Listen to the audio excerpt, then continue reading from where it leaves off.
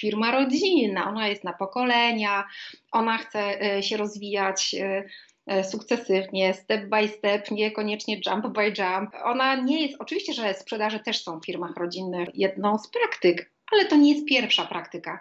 I tak weszłam na no dzisiaj powiemy rynek firm rodzinnych, wtedy tego nikt nie robił. To była myślę bardzo odważna i nie, nie wiem, czy z perspektywy czasu to była bardzo odważna i ryzykowna decyzja, tak ekonomicznie mogę na to popatrzeć,